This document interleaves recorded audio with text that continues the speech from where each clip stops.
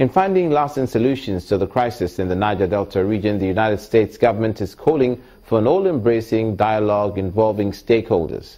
The Deputy Chief of Mission, Mr. David Young, who met with the Governor of Delta State, Dr. Ifeanyi Okowa in Asaba, says his visit is part of measures aimed at resolving the crisis in the region, which is currently telling on the nation's economy.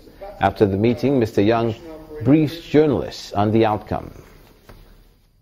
Eze-Emu. Yeah, I had a wonderful meeting with the governor. It was good to be able to understand uh, more of the context of issues here uh, in Delta State.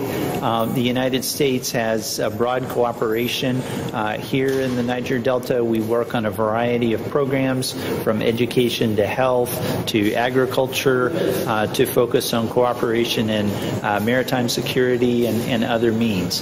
So the United States is very committed to our uh, engagement here. Uh, one of the things we feel uh, is very important is the process of dialogue.